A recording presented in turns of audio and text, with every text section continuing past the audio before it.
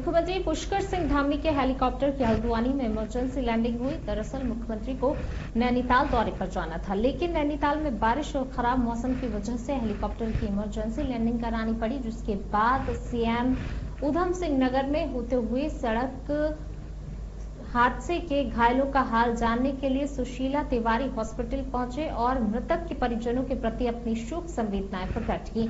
साथ ही बेहतर उपचार के लिए जिलाधिकारी को आवश्यक दिशा निर्देश दिए। हल्द्वानी से संवाददाता दीपक अधिकारी की रिपोर्ट।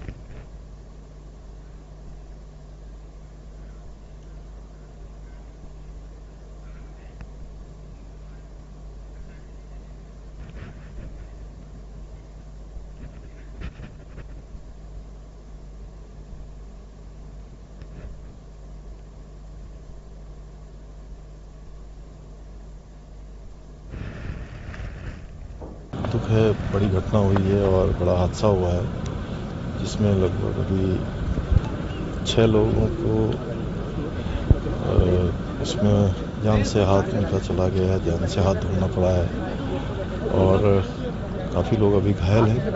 उनको देखने में स्वयं अस्पताल भी जा रहा हूँ और जिलाधिकारी को सभी शासन के आला अधिकारियों को सभी को तुरंत जो भी बचाव और राहत कार्य हो सकता है, उनकी चिकित्सा की व्यवस्था हो सकती है। उस सब व्यवस्था को करने को कहा है।